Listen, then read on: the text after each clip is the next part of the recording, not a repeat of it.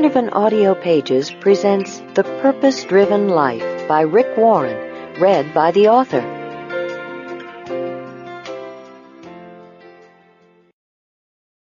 A Journey with Purpose Getting the Most from this book. This is more than a book. It's a guide to a 40 day spiritual journey that will enable you to discover the answer to life's most important question. What on earth am I here for? By the end of this journey, you will know God's purpose for your life and you'll understand the big picture, how all the pieces of your life fit together.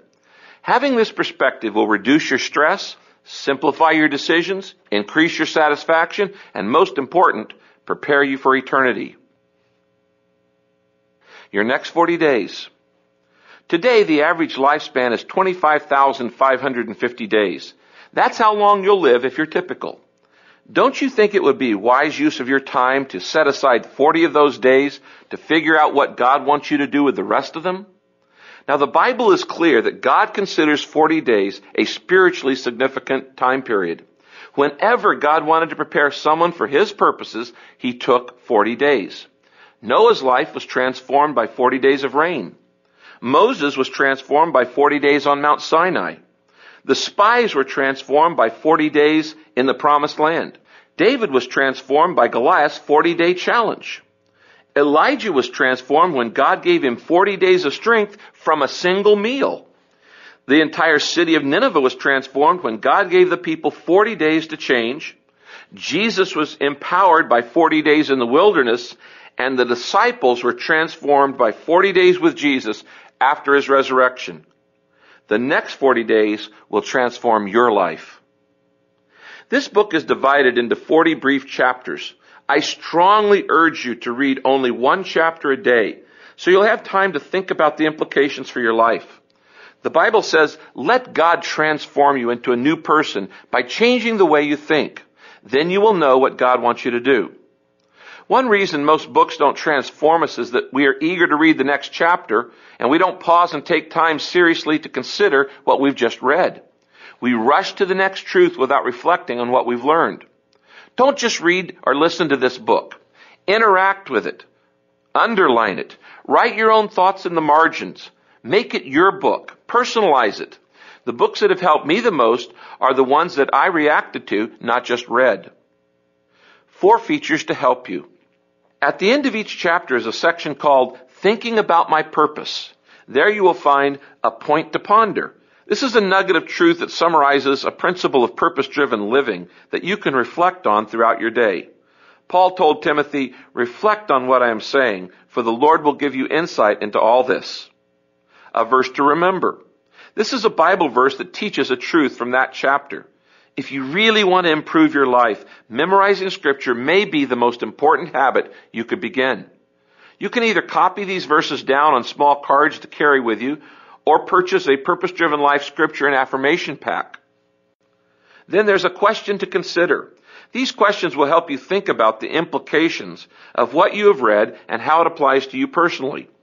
Let me encourage you to write your answers in the margin of this book or in a notebook or get a copy of the Purpose Driven Life Journal, a companion book designed for this purpose. Writing your thoughts on paper is the best way to clarify them. The best way to explain God's purpose for your life is to allow scripture to speak for itself. This book contains over a thousand quotes and references to scripture. I've intentionally varied the Bible translations used for two important reasons. First, no matter how wonderful a translation is, it has its limitations. The Bible was originally written using 11,280 Hebrew, Aramaic, and Greek words, but the typical English translation uses only around 6,000 English words. Obviously, nuances and shades of meaning can be missed, so it's always helpful to compare translations. Another important reason for using so many translations and paraphrases is the fact that we often miss the full impact of familiar Bible verses, not because of poor translating, but because they've become so familiar. We think we know what a verse says because we've read it or heard it so many times. Then when we find it quoted in a book, we skim over the verse and miss the full meaning. So I've deliberately used paraphrases in order to help you see God's truth in new, fresh ways. While not intended for in-depth study, paraphrases are often great for catching the tone or spirit of a verse. English speaking people should thank God that we have so many different versions for use in devotional reading. Also, since the verse divisions and numbers were not included in the Bible until 1560 AD, I haven't always quoted the entire verse, but rather focused on a key phrase. My model for this is Jesus and how he and the apostles quoted the Old Testament. They often just quoted a phrase that taught an important truth. I've been praying for you. As I wrote this book, I often prayed that you would experience the incredible sense of hope and energy and joy that come from discovering what God has put you on this planet to do. There's nothing quite like it. I'm excited because I know all the great things that are going to happen to you. They happened to me, and I've never been the same since I discovered the purpose of my life. Because I know the benefits, I want to challenge you to stick with this spiritual journey for the next 40 days, not missing a single daily reading. Your life is worth taking the time to think about it. Make it a daily appointment on your schedule. If you'll commit to this, let's sign a covenant together.